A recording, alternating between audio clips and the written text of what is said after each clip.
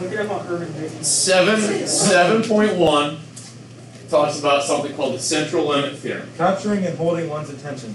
Enthralling Enthralling pain, maybe. Uh, the- so the central limit theorem is going to be a tool for us uh, that becomes very useful for the mere fact that we rarely know what our population distribution looks like. Okay, so if we're talking about like uh, how, um, for example, here we got an example that talks about triglyceride levels um, for people in a population. If I have no idea how triglyceride levels are distributed amongst my population, whether they're uniform or they're normal or maybe they're exponential or whatever, we don't know the shape. If we were to take every single person and find their triglycerides and make a frequency table and then graph them in a histogram and then make a uh, density curve. We don't know what that curve would look like. Would it be normal? Would it be uniform? Would it be exponential, chi-square, whatever? We don't know a lot of those things about populations. Okay? What the central limit theorem allows us to do is, and since we don't know that information about the population, it's hard to analyze other things about the population. Central limit theorem allows kind of a creates kind of a workaround to to that idea, okay, to that uh, lack of knowledge about the distribution of the population. So today, all I want to do is kind of lay the foundation of the central limit theorem, um, introduce some notation, and then over the next couple days, we'll do some um, actual problems dealing with it. Okay, but I think the scenario here that is laid out gives a good idea of what we're doing. Um, if I didn't have a scenario, I think it would be very hard for you to realize some of the terminology and what we're doing. That I, I think the terminology gets really wordy uh, and hard to uh, remember and keep straight. Uh, but the scenario here hopefully gives a visual of what we're doing. Okay, so suppose a researcher selects a sample of 30 adult, adults and finds the mean of the measure of triglyceride levels uh, for the sample of subjects to be 187 milligrams per deciliter. So what we're doing here, and, the picture down below uh, explains this as well. But we have this population of adults, okay? Um, and, and you can kind of maybe narrow that down to maybe they're adults in Ohio, maybe they're adults in Down County, whatever. But we have a some population of maybe all adults in the world, okay?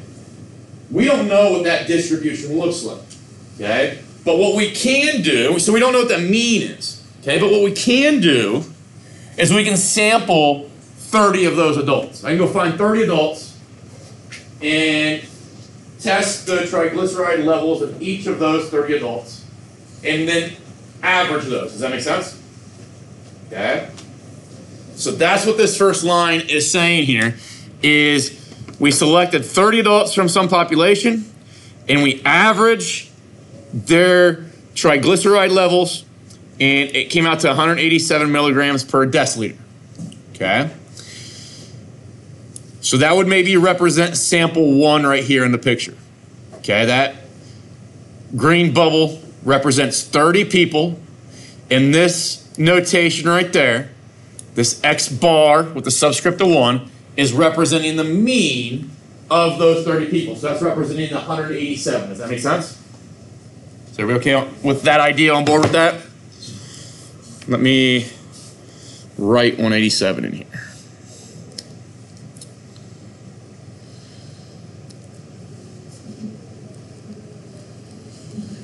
Okay. So then what we do is we take those 30 people and we put them back into the population and we choose another 30 people. Okay? And because we put those people back in, they could be part of the second sample. Okay? Uh, so we're doing replacement here. So we sample another 30 people, we average their triglyceride levels. Okay? And we get, in that one, a second group says it's 192. So the second group here is this blue bubble, 192. And the way I drew that blue bubble, you can kind of see that in that situation, somebody, maybe one or two or three, however many, um, that were in sample one also got picked in sample two. So that can happen. It can be overlap. Okay? Now, we do it again. We do it with a third sample. Okay, and we get 195. So we take another 30 people, and we get a average of those 30 to be 195. And we keep doing that. We keep doing that process over and over and over and over again. Okay? And we get all of these groups of 30 averages. Okay? We call them sample means. Does that make sense? We took a sample and found their average, or the sample and found their means. So we call them sample means. So I've got now these new numbers. So, so this 187 is a mean. 192 is a mean. 195 is a mean. But collectively, if I do this 100 times, I would have 100 of those numbers. Does that make sense? I essentially have 100 new triglyceride values. Okay? Well, that group of 100 is now another distribution. That group of 100 can be considered a random variable now. Does that make sense? And it's going to be a continuous random variable because of the way averages are going to work. We're probably going to get decimals and stuff like that. Um, does anybody have questions on that process? So basically, not able to look at the entire population, okay, and find the average of the entire population, but we can take a bunch of little samples and find the averages of those little samples. And once we find the averages of those little samples, in this case, I'd have 100 of these little X bars, okay?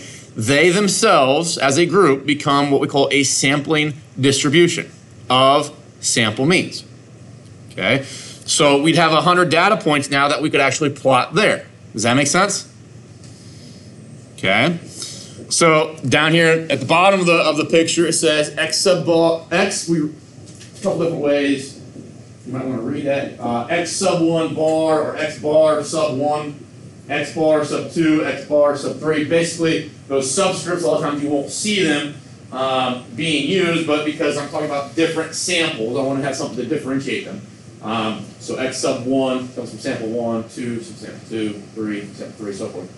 But the bar on top tells us it's the mean of those. If You guys remember back to when we talked about uh, parameters and statistics. The first thing we talked about with the parameter, the first uh, quantity we talked about parameters was the mean, the average, mu, okay, for a population. Um, and then for a statistic, we talked about x bar being the mean for the sample. Okay, so x bar, we've seen that notation before, uh, but all it means is the average or the mean for a sample. Okay, does that kind of make sense? So it corresponds to mu, but mu is the, the mean for the population, x bar is the mean for the sample. It says all of these become the data points for another distribution, and we call that the sampling distribution. It says if samples are drawn with replacement, okay, um, so meaning an object, a person could be chosen for sample one and sample two, or again in sample three or whatever, okay, so we can have some overlap like we see in the picture. Uh, if that's the case, there is ultimately an infinite number of different samples that can be drawn from the population. Okay? Even if we, um, you know, if we have a population that has like a thousand members in it, and we're choosing 30 at a time, there's an infinite number of different groups of 30 that can be created because we're doing replacement. We can say that people can be chosen in multiple groups. Okay? Um, so that idea, that construct of uh, that scenario is what we're going to be working with here in a moment. Okay? What I want you guys to understand, what you need to know, is that no sample, okay, neither one of those, any of those bubbles up there that represent 30 people out of the population, none of those means of 187, 192, 195, none of those means are going to be equal to the population mean. Okay? There's always going to be what we call sampling error. Meaning, you know, if we took, let's say there's, I don't know, 15 of us in this class normally, maybe. Um, if we were to take like our, um, I know we, we did this before uh, at the beginning of the year. We took our age and days, okay, and we found the, you guys know the population, and we found our average age and days for the class, wrote that number down, called that mu, okay, and then maybe I took these back three people as a sample. And I took their ages and I averaged them. That sample mean of these three will not equal the mu that we found of the whole class. Does that make sense? No sample of three people that we choose and add their ages up will equal the mean of that class. Okay? And that's called sampling error because this group, this sample of these three people are not a perfect match to the population. No sample is ever 100% representative of the population. Okay? And that difference is referred to as sampling error. Okay? Um, so some key terms as we move through here. Sampling distribution of sample means. Sam, I think that's wordy. Sampling distribution of sample means.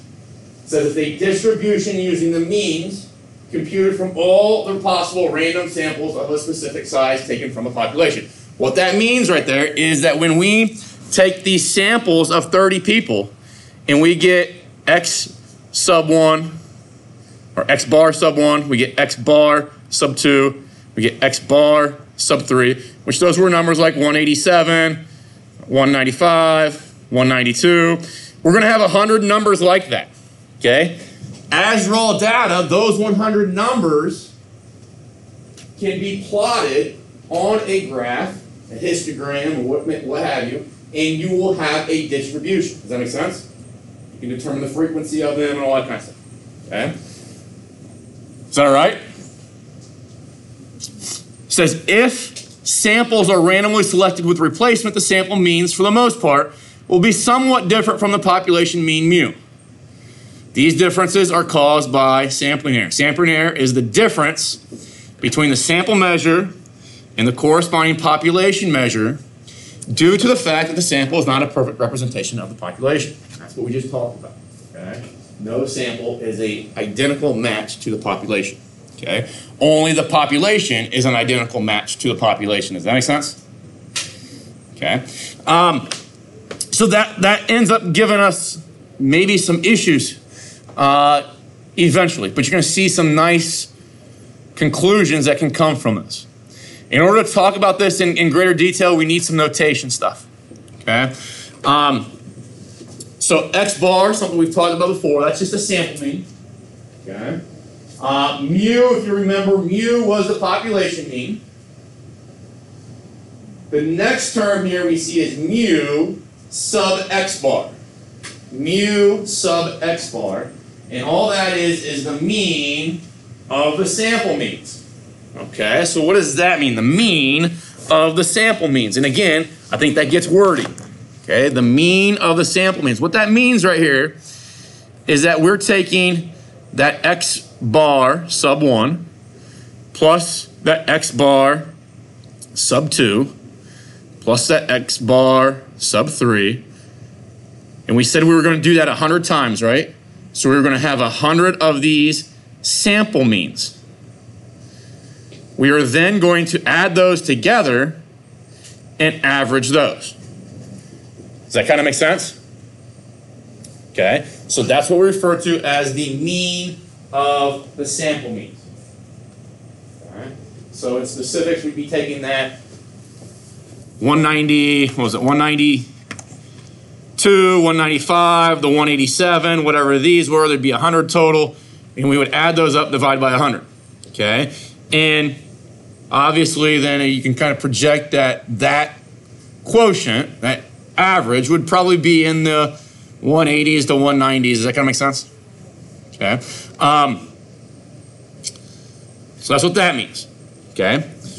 The sigma sub x bar, sigma, sigma stands for standard deviation, x bar representing sample mean. So this must be the standard deviation of the sample means. Okay. So if you remember standard deviation,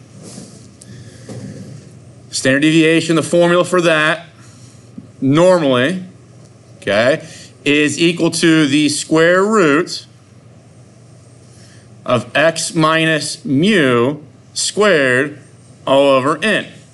Okay?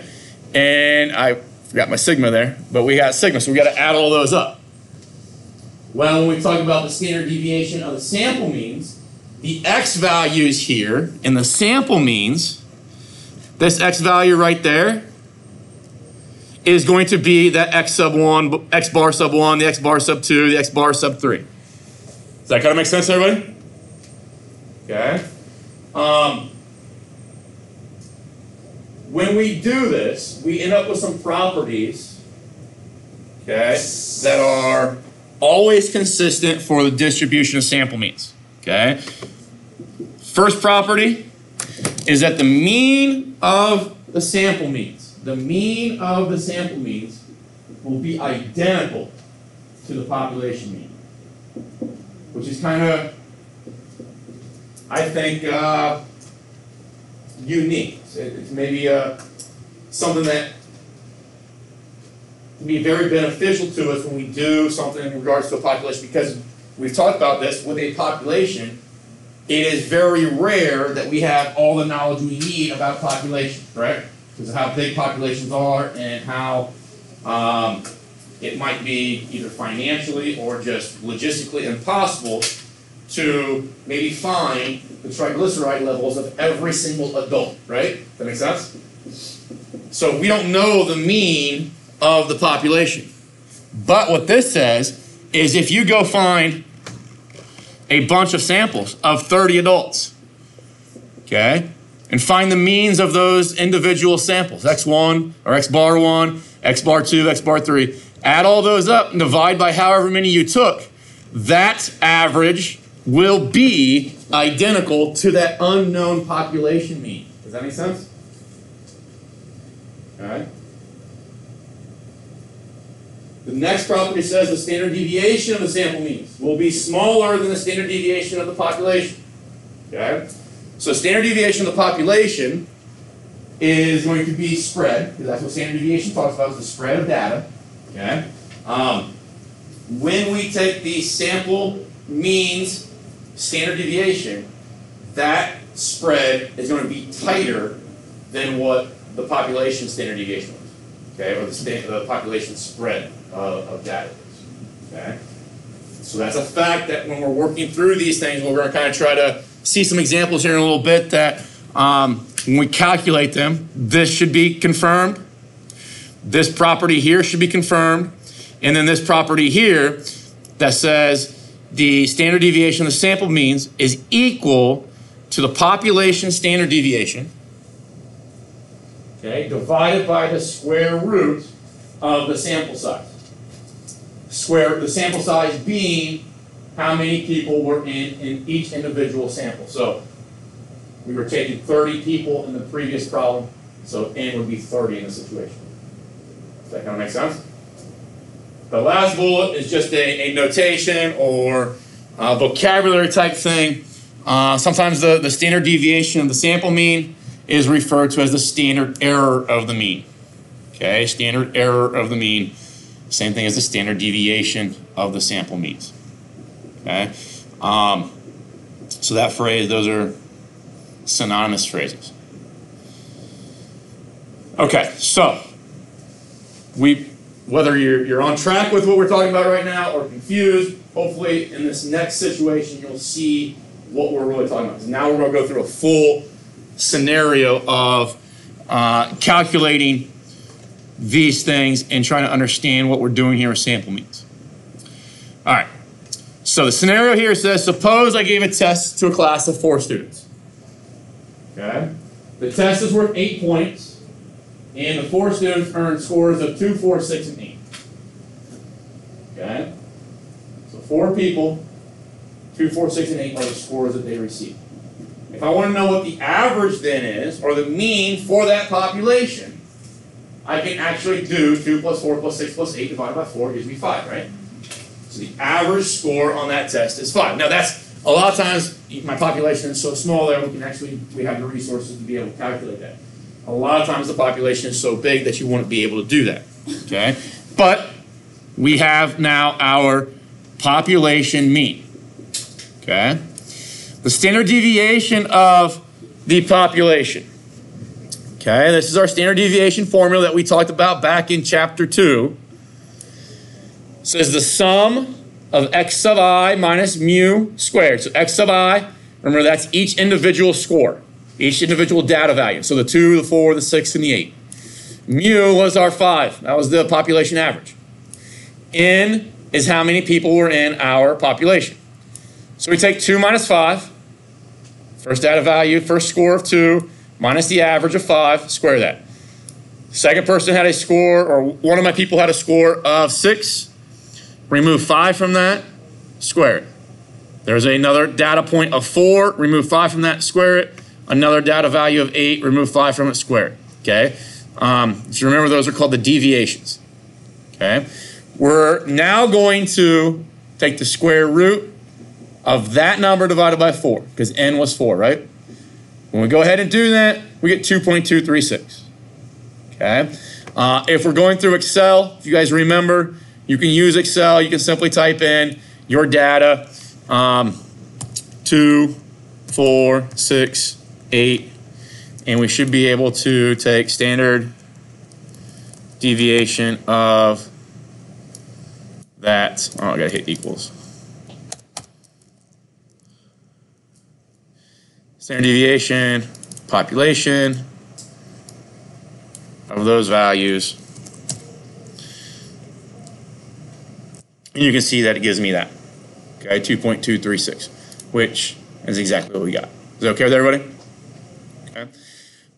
If so, th- this is this is all stuff that we've been doing previously in the past. If we were to graph this information, okay, um, the scores in a histogram, a frequency histogram, okay, we can see that a score of two. Okay, so on the on the x-axis, we're talking about our scores here. So a score of two, a score of four, a score of six, and a score of eight. And talking about the frequency in which those occurred, a score of two occurred one time. A score of four occurred one time. A score of six occurred one time. A score of eight uh, occurred one time. Okay, so that's the distribution. Pretty boring distribution, right? Anybody remember what that kind of distribution is called when they're all the same? So it's a U. Uniform. Uniform. So that's a uniform distribution. A lot. So so we know we know the distribution of this particular population. A lot of times we don't know the, the distribution of our population. Okay? But what we're getting to is that central limit theorem is a tool that even if you do know your population's distribution and it's not normal, because that's not normal, right? Uniform is not normal. We can still take sample means, and what sample means are going to allow us to do is create something that is normal. Okay? So, regardless of what the distribution of the data is, the sample means are going to be normal, which is what we're getting into here in a moment. And I'm going to try to prove that to you. Okay? Says now if all sample sizes of two are taken with replacement and the mean of each sample is found, I'm not sure what I'm writing here. The distribution is shown. We're gonna. I'm gonna show you the distribution right here. Um, so the sample is made by choosing one grade, replacing it, choosing the second. So here's the idea of, of what this is saying. If we were to take these scores of two, four, six, eight, take these people and put them in a room and blindly go in and pick one of those people out, bring them out in the hallway, ask them what they got. Okay, they tell me a two. I then put them back into the room. I go back in, close my eyes, pick another person out. They come out in the hallway. They tell me they got a two. So there, I picked the same person twice, right? But that could happen. That could be a sample. Okay. Do that, and I could all the different combinations of people that could be chosen for these samples of size two. I could have somebody that scored a two, put them back in the group, pull another person out, and it be the same person, and they scored a two. But I could do this with a two as the first person, the first score I pick out, but then they could also have been paired with a four. Does that make sense? Okay. So these are also, if the first person I chose was two, then everybody else would have been a two, a four, a six, or an eight. Those are my options for sample sizes of two people or two scores, with one of those scores having to be a two. Okay? And then we could do the same thing, saying that one of those scores has to be a four, then the other score would have to be a two, a four, six, or an eight, right? So what we're saying here is these are those there and those there. Those are the 16 different samples of size 2 that we could pick. That okay with everybody? Okay. if I look at those and determine the means of those, so these are these are size samples of size two. Okay, the mean here. So these means are our x bars. These are our sample means. If I take two plus two, divide by two, it gives me that number there. If I take two plus four, gives me six, divide by two, gives me that number there, right? So this column here, this mean, these are the sample means, or our x bars. Over here, this is just, obviously, instead of making this just two columns, I made it four columns. So these, these are n equals two again, and these are more x bars. Is that okay with everybody? These columns right there now as raw data values, they are their own distribution. They are what we call the distribution of the sample means. Okay? So let's talk about those values I highlighted in regards to their frequency. Let's, let's actually create a distribution for these and see what they look like. If I take 2 as my mean, are there any other 2's throughout here as means? So there's only one 2 that shows up as a mean, right? Let's look at 3's. How many 3's are there? Just two threes, correct? Fours. There's one, two, three fours. Fives, one, two, three, four. Sixes, one, two, three. Uh, sevens, two. And leaves me with one eight, right? Okay, so that is the frequency table for my sample means. We've done frequency tables for other things, right? For raw data. This is just the frequency, same, same concept as before, but now just with the sample means. If I were to uh, ask you what is the mean, the mean of the sample means, the mean of the sample means. So what does that mean? It means add these sample means, these 16 values, add them together, and find their average. So I think I have this somewhere already determined. Okay, so here are our sample means. Okay, those are the values that are in that table on um, the notes. If I find the average of those, so add those up, and divide by 16, you see that the average is 5, correct? So what we just found out here is that the mean of the sample means is 5. What was the mean of the population when we had, remember the population was 2, 4, 6, and 8. What was the mean of those? If I add those together, divide by 4, isn't that 5 as well? And that's what we, that was one of the properties. That was the, one of the properties up here that said the mean of the sample means is going to be equal to the mean of the population. Does that make sense, everybody? So a lot, so this, this question, this, this example, deliberately designed using four people so that we can actually come up with the population mean. Other, and it, and it shows, it validates that yes, the, the mean of the sample means is the same as the population mean. So that in the next problem, when I don't know the population mean, I can use the mean or the sample means to tell me the population mean. Does that make sense? Okay. Um, next thing I want to do is look at the standard deviation of the sample means. Okay, so this is a little bit elongated. Okay, this is a long process, so I'm going to use Excel to help us with this. But our standard deviation formula square root of the sum of your data values minus the mean squared. But now because it's the sample means, these x's right here are going to be these highlighted values, 2, 3, 4, uh, 5, 3, 4, 5, 6. Previously, when we did the standard deviation of the population, it was just the numbers two, four, six, eight, right? Here it's going to be a little bit long because we've got 16 terms to deal with. Okay, so I'm going to use Excel to help with this. We've got these 16 values. These are sample means.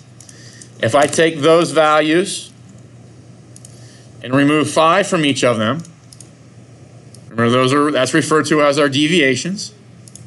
We're now going to square those.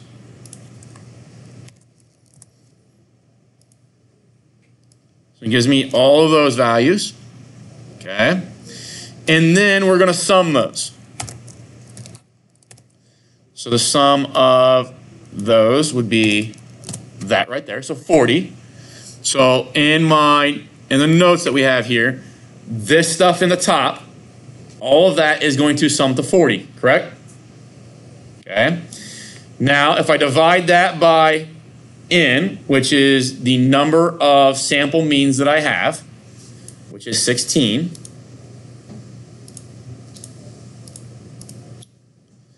So take 40 divided by 16, gives me that number right there. And if I take the square root of that, I get that number right there. So that number right there is the standard deviation of the sample means. That tells me the spread of my sample means. Does that make sense? Is that number smaller than the 2.236 number, which was the standard deviation of the population? Yeah. So the standard deviation of the population, 2.236, that means that the spread is wider. Okay? 1.58 means that the numbers are tighter together now. The spread is more compact. Okay, so that's great. That's another one of our properties that was identified up here. Okay, the standard deviation of the sample means will be smaller or tighter than the standard deviation of the population. We also have this fact here. We just we just found this the, the standard deviation of the sample means by going through this long process of our standard deviation formula. But this is saying that we should be able to arrive at the same value by just doing that. Okay, because we've already the, we've already got sigma, don't we? Sigma we knew to be 2.236. Okay, n that's the size of your samples. So n for our samples, we were taking two things, right, in each sample. So as I take that and divide by radical 2, okay, so I'm going to, just to eliminate any rounding issues, um, let's go, let's put down here, 2, 4, 6, 8. So that was, um, those are my data values for my population. So this 2.68 number that we're or two, sorry, 2.236 number is the standard deviation of the population of those values. Just want to make sure that there's no rounding errors, okay? Because I was going to put 2.236, but I would lose all of this stuff here, right? Okay, so that is, right there, that's sigma. That's the standard deviation of a population. Well, if I take that number and I divide it by the square root of n, which n for us was 2. That number right there is the same as that number right there, isn't it? That makes sense? This number found, okay, this number here was found by doing this long standard deviation process. Okay? This number here is found by take. We still had to use a standard deviation, but it was a, it was a, an easier standard deviation to find. We only had four objects, four data points instead of 16. But the relationship that we see here is that those two things, those two techniques or approaches are equivalent. So down the road, we're not going to use this one. Okay, we're going to use this relationship because a lot of times they're going to tell us in the problems what the standard deviation of the population is. Okay. Um, so then if we know our sample size, we can find standard deviation of sample means simply by taking the standard deviation of population divided by the square root of our sample size. Does that kind of make sense? Okay, now what I want you guys to see here is if we take our sample means and we come up with a distribution of them. So meaning, going back to these being our sample means, right? Okay, and we talk about the frequency of those. When we talked about the frequency of them, these are the sample means, and the frequency of them showed up like that. Well, if I graph that as a distribution in a histogram, and then come up with maybe the probability density function, that is the histogram that I get. Okay? Remember the scenario, the scores were uniform in their distribution, right? Now, if I take the sample means, I take those 16 samples of 2, 2, 2, 4, 2, 6, 2, 8, take those 16 samples and calculate their frequency, their, their means, and then their frequency, it turns into that. What kind of distribution is that? It's symmetric, and if it's perfectly symmetric, oh, that's a terrible curve, but it's a normal distribution, isn't it? Does that make sense? Okay. So if it's a normal distribution, now all the things that we've been talking about in the last couple days, they're determined probabilities, are at our disposal. We can use them now on a scenario in which the original distribution was either unknown or, in this case, uniform, which was, means it was non-normal. Okay? So this is the central limit theorem, which allows us essentially to use everything that we've already talked about with the normal distribution on other distributions. Okay? Or other populations in which we don't know the distribution. And that's that's a key concept, a key um, principle for the rest of statistics. Okay, so the, that's called the central limit theorem. Tomorrow we'll run through uh, some examples of um, the central limit theorem, how we find z-scores and normalize it and all that kind of stuff, and um, hopefully make a little bit more sense of it. Okay, but it's key for us um, as we move forward to, to understand that concept.